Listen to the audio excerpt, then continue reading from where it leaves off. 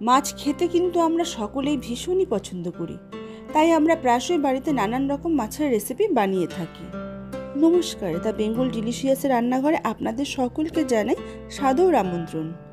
আজ আমি শেয়ার করব লোটে মাছের ঝুড়ো বা লোটে মাছের ঝুড়ি রেসিপি এই মাছটি খেতে অনেকেই পছন্দ করেন, আবার অনেকেই পছন্দ করেন না। কিন্তু আমি যে পদ্ধতিতে বানাবো, যদি সেই রেসিপিটি ফলো করেন, তবে যারা খেতে ভালোবাসেন না তারাও খেতে পছন্দ করবেন। তবে চলুন, তৈরি করি লোটে মাছের ঝুড়ো। এখানে আমি লোটে মাছগুলো কেটে বেছে ভালো করে ধুয়ে নিয়েছি।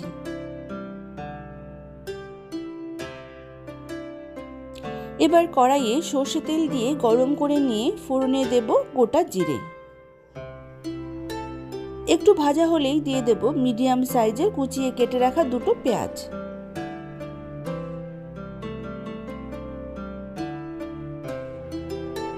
পেঁয়াজটা নেড়ে চেড়ে হালকা করে ভেজে নিয়ে দিয়ে দেব রসুন।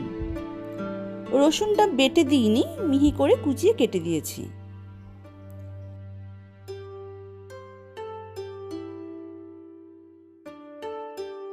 একটি টমেটো বড় টুকরো করে কেটে দিয়ে দিলাম। আবারও নেড়ে চেড়ে দিয়ে দিলাম আদা বাটা। কিছুক্ষণ নেড়ে চেড়ে ভেজে নিয়ে দিয়ে দেব এক চা চামচ জিরে গুঁড়ো, এক চা চামচ ধনে গুঁড়ো আর এক চা চামচ লঙ্কার গুঁড়ো। গ্যাসের ফ্লেম লোতে রেখে মশলাগুলো ভালো করে কষিয়ে নেব। এবার দিয়ে দেব পরিমাণ মতো হলুদ গুঁড়ো, স্বাদ অনুযায়ী নুন আর চারটে চেরা কাঁচা লঙ্কা।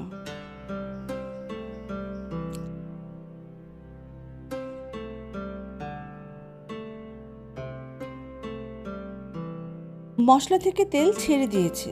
মশলাটা ভালোভাবে কষানো হয়ে গেছে। এখন দিয়ে দেব লোটে মাছ।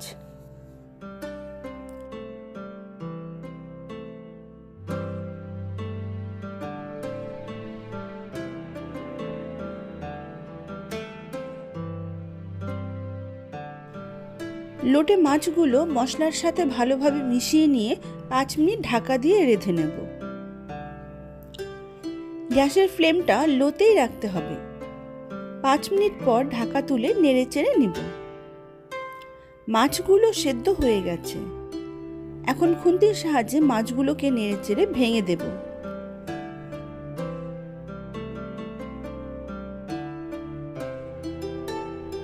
মাছগুলো মশলার সাথে একদম ভালোভাবে মিশে গেছে।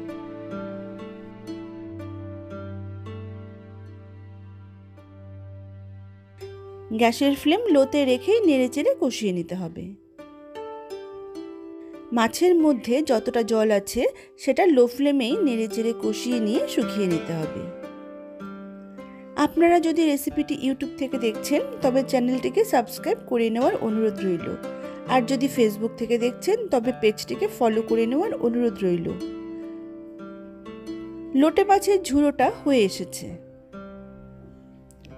যতক্ষণ না লোটে মাছের ঝুড়ো থেকে তেল ছেড়ে দিচ্ছে, ততক্ষণ লো ফ্লেমে রেখে নেড়ে চেড়ে কষিয়ে নিতে হবে।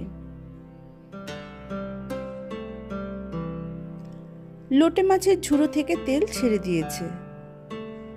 এখন গ্যাসটা বন্ধ করে দেব। আমাদের লোটে মাছের ঝুড়ো বা লোটে মাছের ঝুড়ি গরম ভাতের সাথে সার্ভ করার জন্য একদম তৈরি। আর এই সহজ সরল লোটে মাছের ঝুড়ো রেসিপি আপনাদের কেমন লাগল অবশ্যই কমেন্ট করে জানাবেন। যদি ভালো লেগে থাকে, অবশ্যই রেসিপিটা একবার বানানোর অনুরোধ রইল। সকলেই সুস্থ থাকুন, ভালো থাকুন। ধন্যবাদ।